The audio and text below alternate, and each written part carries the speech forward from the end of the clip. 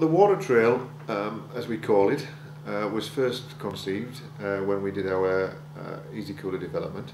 We went to investigate um, how coolers were sanitized uh, across the industry and found that it really was quite um, a, an, an, arduous process. We came up with the idea of um, a disposable system, of not cleaning the, the, the, the, the water cooler, but simply replacing it. The first water trail we came up with was actually a flexible bag. But all the elements there of the first of, of, of, of the water cooler, you have the reservoir, uh, you have the dispense valves, which are just a piece of silicon tube. You have the interface with the um, the bottle, um, um, and the air valve and the air filter. Um, and it, in its direct form, it means that every water contact part of the cooler is replaced when you change it. So as far as the water is concerned, replacing the water trail gives you a brand new cooler.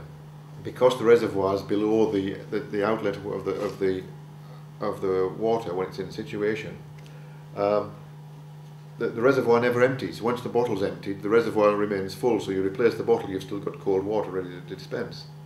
Whereas um, a regular cooler, you would empty the bottle on the top of the cooler, you would then empty the reservoir and the cooler would have no water in it. So when you replace the bottle, you would have to wait 20 or 30 minutes for the water to cool down again to get a cold drink. Whereas the EBAC cooler was had a always had a cold drink as soon as you replaced the, the bottle. One of our um, latest water trails, which is out of our which is out of our F-Max cooler, um, you can see there's some stark differences.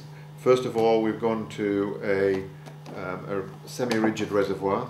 We have it fully integrated now with the manifold area so that there's, there's less orientation required.